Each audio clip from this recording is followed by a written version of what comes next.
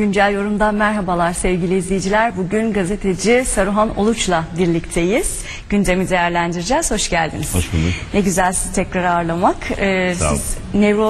Nevroz'a katıldınız Diyarbakır'da, İstanbul'da. İsterseniz Nevroz değerlendirmesiyle başlayalım. Gerçi o gün de aldık görüşlerinizi, o havayı, o atmosferi ama e, tekrar e, nasıl bir hava vardı, Öcalan'ın mesajı özellikle nasıl karşılandı, sonrasında nasıl yankı uyandırdı, neler düşünüyorsunuz, size neler hissettirdi lütfen dinleyelim. Ee, Nevroz e, bu seneki bütün Nevrozlar müthiş oldu aslında. Türkiye'nin e, çok değişik noktalarında e, kutlamalar yapıldı. E, yanılmıyorsam hem e, e, Türkiye hem Kürdistan açısından baktığımızda e, 150'ye yakın e, ilçe ve ilde kutlama yapıldı. E, ve kutlamaların hepsi çok e, muhteşemdi. E, Birçok yerde ilk defa kutlama yapıldı. Özellikle batı e, ilçelerine, illerine baktığımızda. Tabii bunların e, en önemli iki tanesi, e, hepsi önemli şüphesiz ama en çarpıcı olanı Ahmet'teki ve İstanbul'daki e, oldu. E, ama hemen ekleyeyim yani Adana, Mersin, İzmir, Antalya e, bunların hepsi çok e, muhteşem e, gerçekleşti. E, Ahmet'teki geçen senekinden daha e, e, büyüktü, daha e, kalabalıktı benim gördüğüm kadarıyla. Ben geçen sene de oradaydım. E, ve e, insanlar çok kararlı bir şekilde oradaydılar. Geçen sene biraz tedirginlik vardı. Acaba ne olacak, nasıl bir e, durumla karşılaşılacak diye ama bu sene gördüğüm kadarıyla çok daha kararlı ve rahattılar yapılması gerekenler e, konusunda. E, yine gerçekten milyonların şahitliğinde bir e, nevroz oldu. E, ve e, Sayın Öcalan'ın mektubu e, okundu. Çok dikkatle dinlendi yine mektup ve e, tabii ki e, çok e, önemli bir mesaj e, gelmişti. Çünkü o mesajda sizler de e, izlediniz, okudunuz. E, iki noktaya e, vurgu yapılması çok önemliydi. Bir tanesi e, barışın e, mücadeleyle kazanılacağı ve bunun zorlu bir süreç olduğu. Yani savaş zordur ama barış daha zordur e, anlayışıyla aktarıldı. Çünkü gerçekten öyle. Ama nasıl direnirken korkmadıysak barışırken de korkmayacağız dedi Sayın Öcalan. Bu önemli bir şeydi. Yani barış mücadelesinin devam edeceğini ve bunun ancak ve ancak e, e, halkın kendi örgütlülüğüyle, e, kendi mücadelesiyle, e, kendi kararlılığıyla kazanılabilecek bir şey olduğunu bir kez daha vurgulamış olması ve elbette ki bir taraftan da e, müzakerenin nasıl sürmesi gerektiğine dair vurgu yapması çok önemliydi. Şimdi benim gördüğüm kadarıyla İstanbul Nevroz'unda da aynı kararlılık vardı. Çok kitlesel bir katılım gerçekleşti. Bütün Nevroz'larda Sayın Öcalan'ın mektubu bir kez daha okundu. E, diğer e, yapılan e, iri, irili ufaklı bütün Nevroz'larda. E, ve e, bu mesaj bütün e, herkes tarafından iyi algılandı e, diye düşünüyorum. Ben bir, birkaç Nevroz'a katıldım e, bu arada. Batı'da olan. E, oralarda da bir, ilginçti. Bazılarında ilçe Nevrozlarına katıldım. İlk defa o ilçelerde e, Nevroz kutlaması bu şekilde e, yapılmış. Çok heyecanlıydı insanlar. Çünkü yani e, batıya göçmüşler yıllar önce orada yaşıyorlar, çalışıyorlar, hayatlarını orada idame ettiriyorlar. Fakat birçok yerde Nevrozlarını kutlayamıyorlar. E, e, öyle bir durumlar e, durumları varmış. Fakat bu kez e, aşağı yukarı her yerde Nevrozlarını kutlayabildiler ve bundan dolayı da çok e, mutluydular. E, ve e, çok hakikaten gururla bu işi yapıyorlardı. E, çok böyle çarpıcı şeyler oldu. Yani e, mesela yine benim katıldığım Nevrozlardan bir tanesinde e, yani beni çok etkiledi. E, küçük bir şey belki ama e, hakikaten bir ruh halini yansıtıyordu. E, yaşlı bir Kürt e, anası e, baktı baktı böyle ya şükür Allah'ıma bugünleri de gördüm dedi. Bu hakikaten etkileyici e, bir şeydi. Çünkü e, kolay değil. İnsanlar yerlerinden, yurtlarından göçmüşler, batıya gelmişler, orada yaşıyorlar. E, elbette ki kendi e, yıllarca yaşadıkları yerleri özlüyorlar, oradaki gelenekleri e, hatırlıyorlar. E, ve e, yani burada yeniden bazı şeyleri yapıyor, yapabiliyor olmak ve bunu da öyle korkmadan, e, e, kaçmadan, e, boynu dik bir şekilde, onurlu bir şekilde yapabilmek büyük önem taşıyor. E, bu nevrozlar onu e, gösterdi bana ikinci olarak. E, ve Sayın Öcalan'ın bu konudaki e, kararlı mektubu ve e, duruşu da bence bütün bu nevrozlara katılanlar açısından gayet doğru algılandı. e, bu mücadeleye devam edeceklerini vurgulamış oldular onlar da bu e, katılımlarıyla.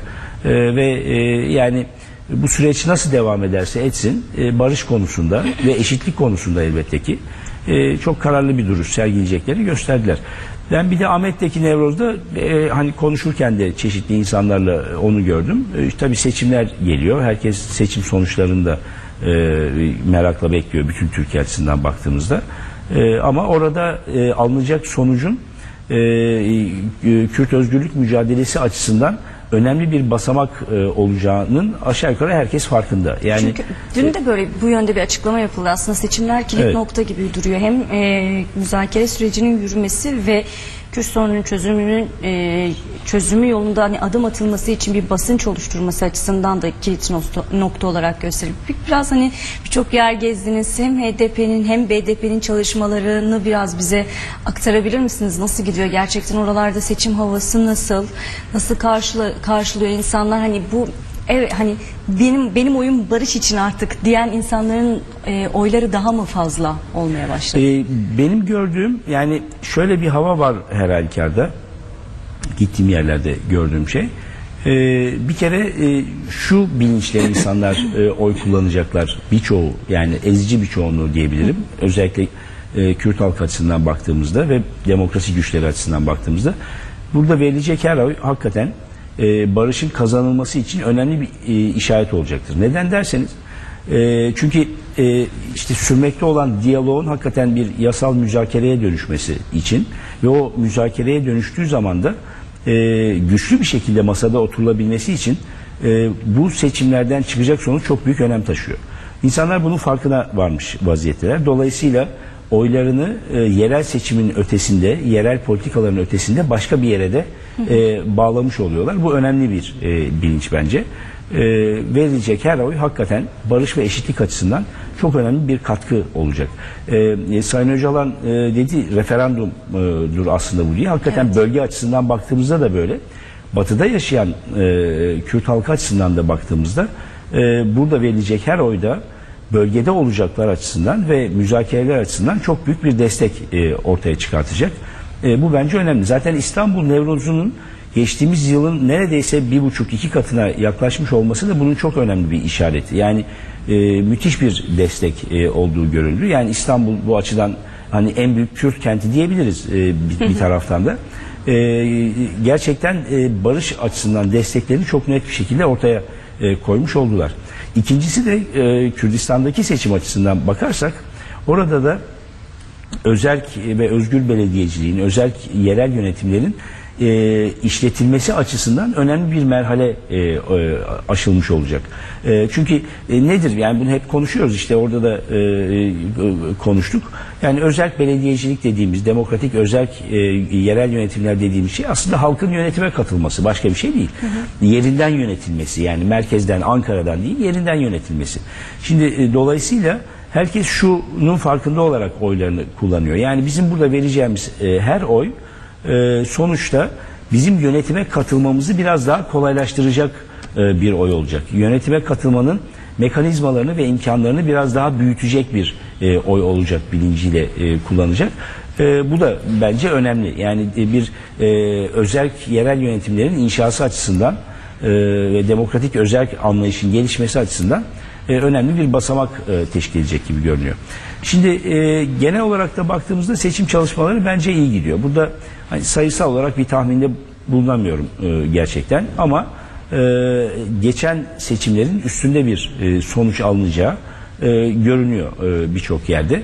E, ama bu e, kaç belediyeye tekabül eder, e, yüzde olarak neye tekabül eder bunu e, tahmininde bulunmak e, doğrusu bana e, çok e, şey gelmiyor. Bu E, yıl İstanbul Nevruz'un hani bu kadar kalabalık olmasının bir sebebi de artık HDP'nin olması ve herkesin e, alana gitmesi şeklinde de yorumlanabilir mi? Ee, Onun da önemli bir etkisi olduğunu düşünüyorum. Çünkü e, şunu gördü bence e, Kürt e, Özgürlük Hareketi'nin içinde olanlar da destekleyenler de e, Halkların Demokratik Partisi e, baktığımızda Türkiye'deki demokra- demokrasi ve barış güçlerinin, emek güçlerinin e, bir, e, toplumsal muhalefetin e, aslında Kürt e, özgürlük hareketiyle, Kürt siyasal hareketiyle yakınlaşması, birleşmesi, birlikte e, e, mücadeleyi sürdürmesinin bir aracı e, olarak e, ortaya çıktı.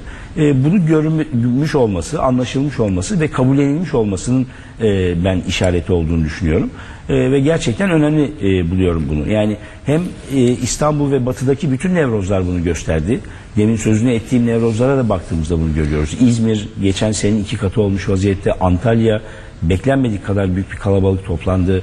Ee, Adana, Mersin e, son seçim mitinglerinin çok üzerine çıkan bir e, nevroz oldu. Şimdi bu nevroz e, o açıdan baktığımızda e, HDP projesinin de daha anlaşılır ve kabullenilir bir hale gelmiş olduğunu e, gösteriyor. Bu tabii önümüzdeki dönemin tartışmaları açısından önemli bir e, işaret oldu diye düşünüyorum. Peki hazır e, seçimlerle devam edelim girmişken bu meseleye. Şimdi şöyle yorumlar yapanlar da var. Hani sanki seçimler önceden tabii farklı partiler zikredilirdi ama AK Parti, BDP ya da HDP arasında gidiyormuş gibi. Hani böyle bir rekabet varmış gibi e, sürüyor ama CHP bu seçimlerin neresinde diye sorayım ben size. E, çünkü çok fazla tartışılan, e, üzerine yorum yapılan mesele de var. İşte Ankara adayı, e, seçim çalışmalarında verilen e, objektiflere verilen pozlar çok tartışıldı. E, ne dersiniz? Hani nerede e, duruyor CHP ve hani daha önceden biz farklı tartışırken, konuşurken CHP e, nin e, işte HDP'nin ya da önceden olmasa da sol sosyalist partilerin bir alternatifi ve daha yakın iktidara daha yakın e, görünürken hani o yolda gidecek bir parti olarak görünürken bugün sanki tam tersi bir e, tablo mu var? E, neler Evet. söylemek istersiniz? E, CHP e, yani bence bu e, seçim öncesi dönemde adaylarını belirlerken de seçim çalışmaları içinde de gösterdiği performansla aslında tamamen sağ bir kulvara geçtiğini e, çok açıkça e, göstermiş oldu. Yani e, bu aslında insanı üzüyor. İnsan buna sevinmiyor. Çünkü e, neden e, demokrasi ve barış güçlerine e, yakın durmasınlar da e, sağa daha yakın dursunlar. Irkçılara, milliyetçilere e, daha yakın dursunlar.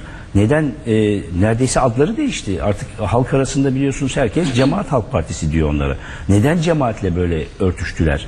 E, yani e, ben geçen gün e, CHP İstanbul e, adayın konuşmalarını e, izledim. E, yani böyle bir hoca efendi övgüsü, bir cemaat vurgusu yani insan diyor ki ya cemaatin adayı herhalde diye bakıyor. Yani bu hale geldi İstanbul'da Mustafa Sarıgül cemaatin e, en büyük destekçisi durumunda. Şimdi buradan politik olarak ne umabilir insanlar? Yani siz alacağınız 3-5 tane oy için onun da kaç tane olacağı belli değil. E, böyle bir e, politik eksen değişikliğini nasıl kabul edersiniz? Ben Peki şöyle CHP soralım. seçmenleri açısından bunu çok vahim görüyorum. Mesela ben bir e, e, Alevi Onu seçmenlerinin... soracaktım ben. de. Evet. Alevi seçmenler mesela bu söyleme nasıl karşılık verirler? Yani ben e, Alevi seçmenlerin e, içlerinin çok kötü burulduğunu düşünüyorum. Yani büyük bir hayal kırıklığı. İstanbul'da e, Alevi seçmenleri oldukça kalabalıktır. E, özellikle e, göçmüş olan, e, burada yaşayan Alevi seçmenler açısından baktığımızda ben çok merak ediyorum. Yani vicdanları kanamadan nasıl gidip oy verecekler? Yani e, ve sonra yaşanacaklara nasıl katlanacaklar? E, böyle bir örtüşme gerçekten e, yani bir de e, ge- geçen gün Sayın Kılıçdaroğlu e, Cumhuriyeti biz kurduk diye övünüyor. Cumhuriyeti siz e, yani tabii ki CHP kurmadı Cumhuriyeti ama hadi varsayalım ki siz kurdunuz. Peki şimdi e, kurduğunuz Cumhuriyeti e, cemaate nasıl e, teslim ediyorsunuz? Nasıl buna içiniz el veriyor? Bu çok vahim bir durum e, bence. İkincisi e, adaylar açısından baktığımızda e, Hatay'dan Edirne'ye kadar CHP'nin birçok yerdeki adayları Hatay'ı bilerek söylüyorum. E, Hatay'dan Edirne'ye çizgisini de bilerek e, çiziyorum. Çünkü baktığınızda hem Marmara'da, Güney Marmara'da, Ege'nin çeşitli illerinde, Trakya'da ki adayların e, ciddi e, bir ölçüde cemaatle ilişkileri biliniyor. E, bunların cemaat tarafından CHP'ye yönlendirildiği biliniyor. Şimdi böyle bir tablo var ortada. Bir kere bu işin bir yanı. İkincisi yani e, e, insan e, düşünüyor bazen nasıl olabiliyor e, bazı şeyler diye. İşte geçen gün e, e, Sayın Kılıçdaroğlu'nun e, e, bozkurt işareti e, yaparak e, Mansur Yavaş için oy toplaması.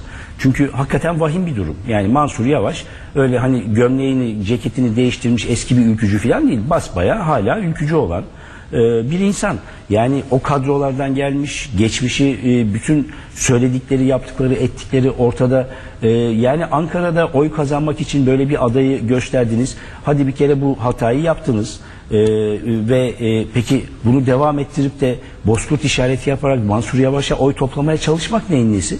Geçen gün hakikaten e, e, BDP eş genel başkanı e, Sayın Demirtaş e, çok esprili bir şey söyledi. Yani biz onu e, Kürt diye duymuştuk. Kurtmuş meğerse dedi.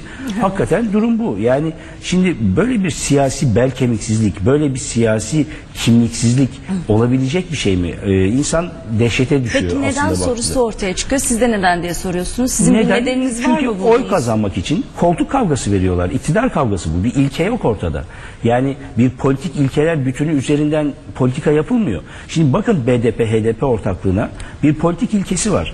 Politik hedefi var. Nedir politik hedefi? Bu seçimlerin en önemli e, hedefi e, bir e, demokratik ve özerk e, ve özgür belediyecilik anlayışını ve yerel yönetim anlayışını e, genel olarak e, hakim kılmak, bunu e, uygulamalarına başlamak, eş başkanlık modeliyle kadınların e, temsilini e, yüzde 50 düzeyine e, çıkarmak filan gibi hedefler var. Ve tabii ki bunun yanında işte bir ekolojik kentler e, oluşturmak, e, e, kamu hizmetlerini arttırmak, e, eğitim ve sağlık gibi hizmetleri yerel yönetimlerde tarafından verilmesini sağlamak filan gibi bir takım hedefler var değil mi? Bunlar politik hedefler aslında.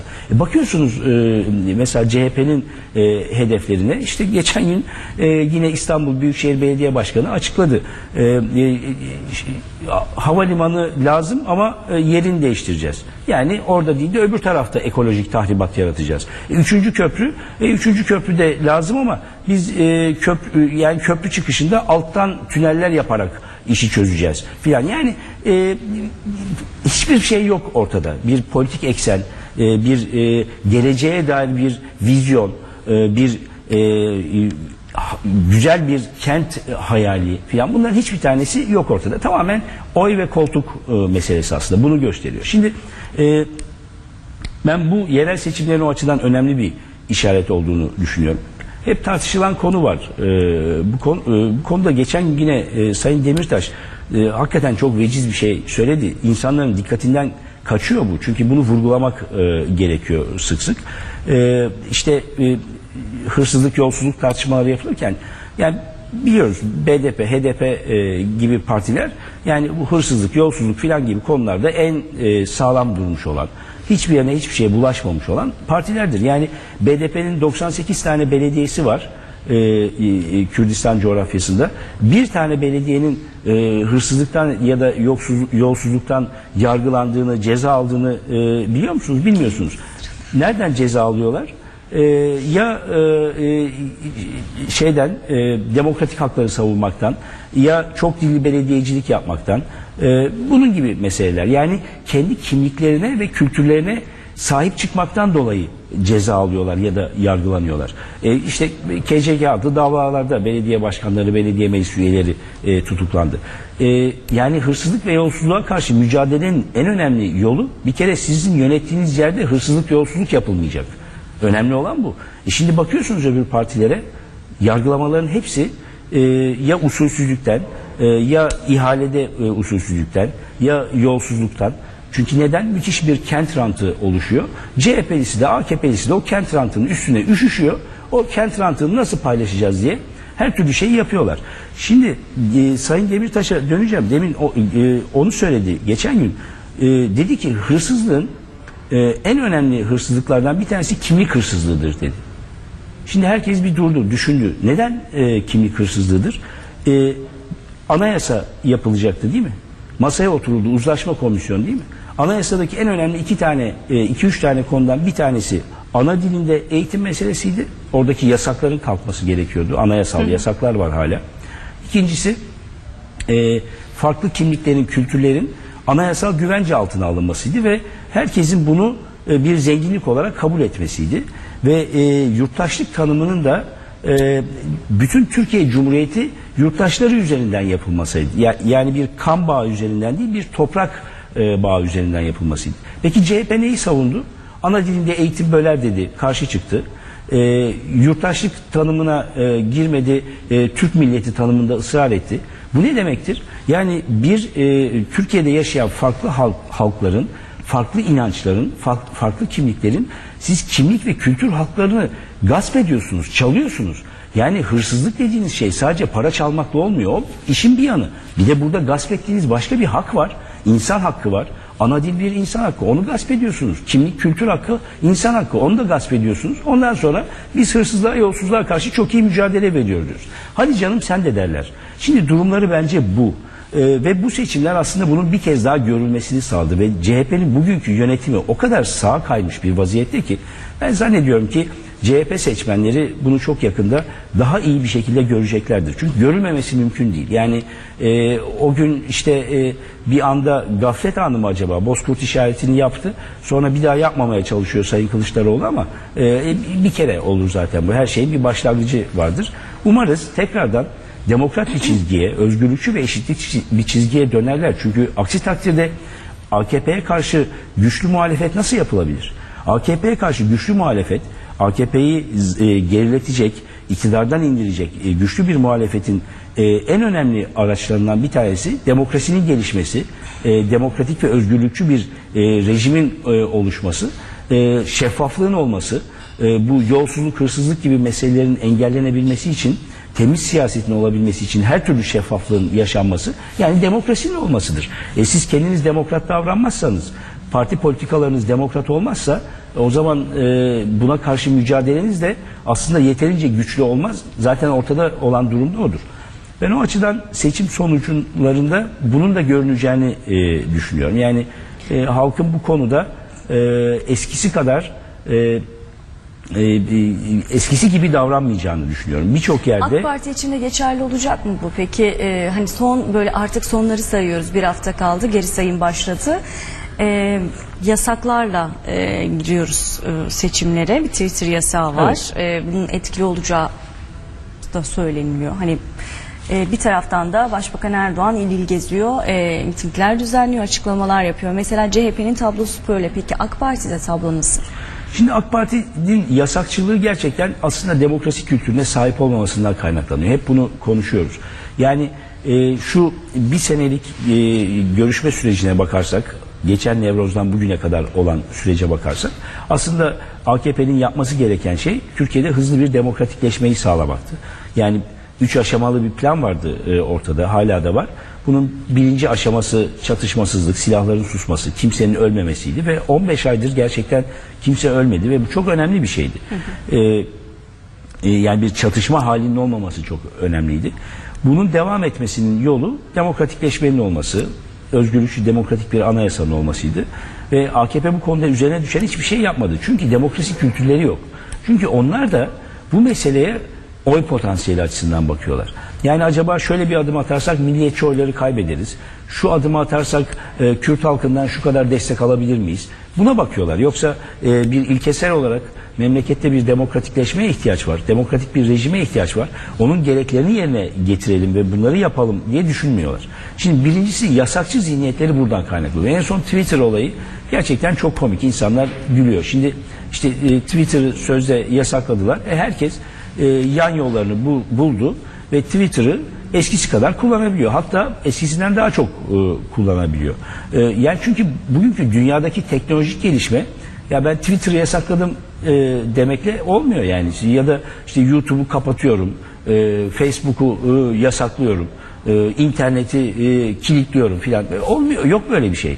Yani e, dünyadaki e, teknolojik gelişmeleri anlamamak e, anlamına geliyor bu böyle bir davranış ve e, Başbakan Erdoğan bu konuda hakikaten e, gülünç duruma düştü. Hem Türkiye'deki e, Twitter kullanıcıları açısından baktığımızda hem de ki dünya açısından baktığımızda yasakçı bir zihniyetin en bariz sembolü haline geldi. Bu bir kere değişmeli e, e, esas itibariyle. İkincisi e, AKP'nin diğer yaptıklarına baktığımızda e, yani birçok yerden hakikaten bu özellikle e, yolsuzlukla ilgili e, konuşacak olursak e, çok kötü kokular geliyor. Yani bu sadece merkezi hükümet açısından değil, yerel yönetimlerde de kötü kokular e, geliyor ve bunun nedeni de e, yani malum e, işte inşaat sektörü üzerinden e, büyüyen bir ekonomi e, tasarlanmış vaziyette. Ve bu olurken de inşaat demek e, işte e, kentlerde inşaat demek oralarda imar e, meseleleri demek. E, o imar meselesi olduğu zaman e, kent planları söz konusu olduğunda kentlerde inşaat konusu söz konusu olduğunda mutlaka bu tür yolsuzluklar e, her düzeyde yaşanan şeyler ve AKP'nin hem yerel yönetimlerinde hem merkezi iktidarında bunun sonuçlarını e, aslında görüyoruz. Dolayısıyla buna karşı da mücadele etmenin yolu aslında demokrasi ve şeffaflık e, oluyor. AKP e, bir demokratik politik kültüre sahip olmadığı için buna karşı da bir takım zecri önlemler alarak e, bunları e, e, bunlara e, mücadele edenleri engellemeye çalışıyor. İşte e, hukuk alanında çeşitli e, e, uygulamalar yapılması vesaireye baktığımızda bunu görüyoruz. Şimdi e, biz bunu hep e, konuştuk, söyledik. Olması gereken aslında Türkiye'de bir tek şey. Yani e, Türkiye'yi eğer dünya klasmanı açısından baktığımızda e, yolsuzluk, rüşvet ve kara para sıralamasında e, işte e, en son e, başbakan söyledi 53. sırada mı 64. sıra 64'ten 53'e mi indik ne kadar iyi filan diye. Yani 53. sıradasınız 120 ülke arasında yaklaşık. Şimdi bu iyi bir şey değil bu çok kötü bir e, sonuç aslında. Eğer Türkiye'yi yolsuzluk, rüşvet ve kara para aklanması meselesinde ön sıraya çekmek istiyorsanız o zaman daha fazla şeffaflık olacak. Daha fazla demokrasi olacak. Ee, bunun başka bir yolu yok. Diğer açıdan da baktığınızda eğer Türkiye'deki farklı halkların, inançların, kültürlerin, ana dillerin eşitlik içinde ve e, huzurla bir arada kardeşçe yaşamasını istiyorsanız o zaman da daha fazla demokrasi yapacaksınız. E, demokratik bir rejimi e, gerçekten yıkılmayacak bir şekilde inşa edeceksiniz. Bu da AKP'nin e, zaafları E, ama burada e, her iki taraf açısından da AKP açısından da CHP açısından da baktığımızda çok ciddi eksikleri var. E, çok ciddi zaafları var. Hem yerel yönetimler açısından hem genel e, yönetim açısından. Bunun karşısında ise istikrarlı bir şekilde ve e, kararlı bir şekilde bir demokrasi savunusunu yapanlar var. BDP HDP ortaklığı bu. E, e, ben bunun e, e, takdir edildiğini ve e, halkın buna e, daha fazla teveccüh göstereceğini doğrusu e, önümüzdeki bu seçimlerde düşünüyorum. Bundan sonrası için de e, önemli bir başlangıç yapılmış e, olacağını diyorum. Peki, Diyorlar ya bir- bu daha başlangıç diye. evet. Az bir süre kaldı. Ee, göreceğiz biz de. Pazartesi günü konuşuyor olacağız herhalde değil Evet mi? iyi- yani umuyoruz ki iyi güzel şeyler e, konuşacağız. Peki teşekkür ediyoruz. Peki size Hoş de kolay gelsin. Evet sevgili izleyiciler güncel yorumun sonuna geldik. Yarın yine aynı saatte buluşmak dileğiyle. Hoşçakalın.